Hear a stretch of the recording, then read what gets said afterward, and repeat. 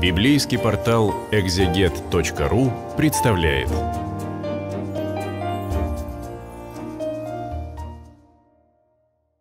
Сто сорок второй псалом для библейского портала «Экзегет», читаю перевод Российского библейского общества, небольшой псалом, под заголовок тоже псалом Давида, и в нем мы видим э, размышления примерно на те же темы, которые были до того. Вот здесь псалтирь движется к завершению. Да, вот эта книга, она очень сложно устроена, в ней нет такого четкого деления. Там первая часть только об этом, вторая только о чем-то другом. Нет, все переплетено, но при этом своя логика есть. И э, вот здесь у нас снова псалом Давида, вновь появляется его имя ближе к концу книги.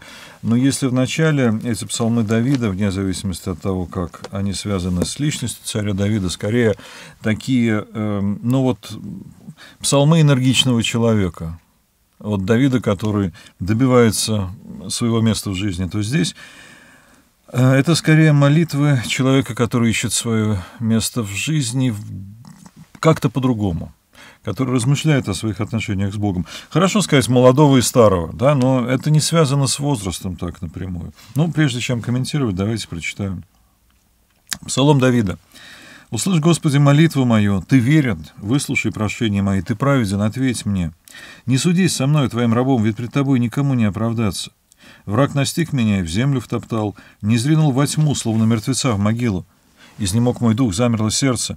Вспоминаю я древние времена, думаю о Твоих деяниях, размышляю о том, что Ты сотворил. Руки мои простираю к Тебе, душа моя жаждет Тебя, словно высохшая земля». Отзовись скорее, Господь, изнемогает мой дух, не скрывает меня свой лик, чтобы не стал я, как мертвец в могиле. Каждое утро дай мне чувствовать милость Твою, на Тебя уповаю. Укажи мне путь, по которому идти, к Тебе возношу мое сердце. Господи, спаси меня от врагов, у Тебя я защиты ищу. Научи исполнять волю Твою, ведь Ты Бог мой. Дух Твой благой пусть ведет меня по прямому пути. Даруй мне жизнь ради имени Твоего, Господи, Ты праведен, вызвали меня из беды. Ты верен моих врагов сокруши, тех, кто душит меня, уничтожь, ибо я раб твой». Вроде все похоже на то, что мы видели в начале псалтири. «Помоги мне справиться с врагами, они на меня нападают. Спаси меня, да, но интонация же совершенно другая. Ты верен, выслушай прошения мои, ты праведен, ответь мне». В начале книги псалмопевец очень переживал, что он праведен, а его враги нет.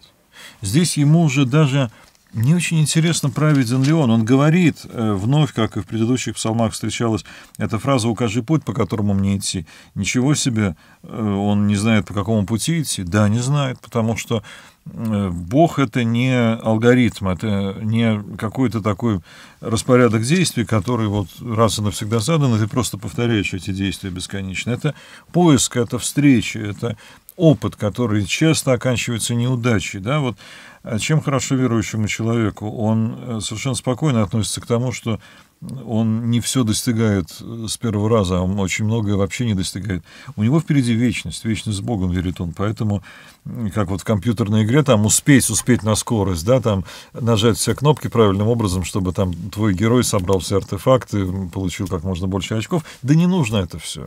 Но э, что действительно нужно – нужны эти отношения. Не судись со мной, твоим рабом, ведь пред тобой никому не оправдаться. В начале псалтиря псалмопевец требует «судись, я праведен, я докажу это тебе сейчас, поступи со мной по правоте моей». Здесь да никому перед тобой не оправдаться. Праведен ли я, не праведен, это не очень важно.